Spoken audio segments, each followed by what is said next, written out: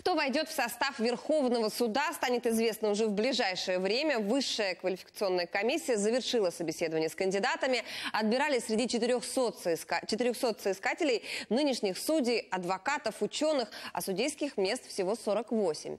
Многие претенденты, как говорят в комиссии, сошли с дистанции еще на начальном этапе конкурса.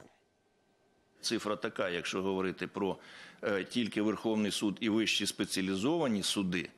Колеги, це важливо дуже. 36 кандидатів е, зупинилися і не продовжують участь у конкурсі. Це тільки на, е, в результаті те- те- те- тест, написання анонімного тесту і практичного завдання. Тільки там. А ще більша кількість кандидатів і далі зупинилася.